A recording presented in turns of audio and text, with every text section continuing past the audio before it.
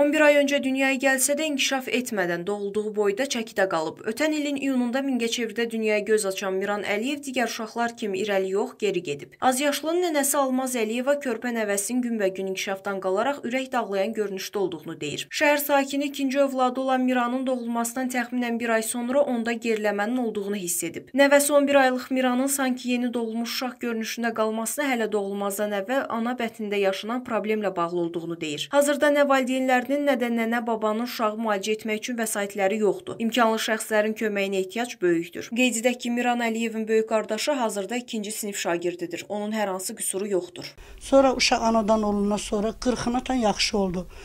Sonra baxdım ki, uşağın vəziyyət pisdir. Dedim ya bir bunu həkimə aparaq. Həkimə apardıq, dedi başında maye, şəki apardıq. Uziyə. Hə, orada dedilər başında maye var, ürəyində maye var. E, götürüb getdim, sonra götürdüm, getdim nevrologiyaya.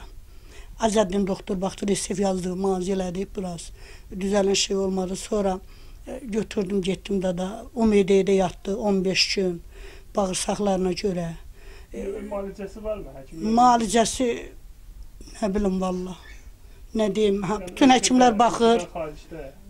Yəqin ki, elə yerlərdə olar da, orada da mənim imkanım var. Ata işləmir, ana işləmir, yoldaşım özüm pensionerəm. 7 baş ailəyik. Nəvələrim. Doğulanda nə boydaydı? Doğulanda İndi nə qədərdir? doğulanda 2 kilo neçə idi? 200 idi, 300 idi, bax belə. Belə normal o bir yarım kilo artardı təxminən. heç artmır. e. Heç heç nə tər var. Hə yarım kilo, artıq yox. Ha vaxt həkimə aparıq, elə eyni çəkidədir. İnkişaf yoxdur. Şüşə götürmür, elə şiprisən zaten yemək bir təri. Amma ana sütü qəbul eləyir. Belə, çox çətin. Gecəmiz, gündüzümüz yoxdur. Vəziyyət pis. Mən də yəni e, xahiş eləyirəm imkanlı şəxslərdən. Çoxlu-çoxlu müraciət eləyirəm. Sizə qurban olum. İmkan varsa mənim balam müalicəsinə kömək eləyin.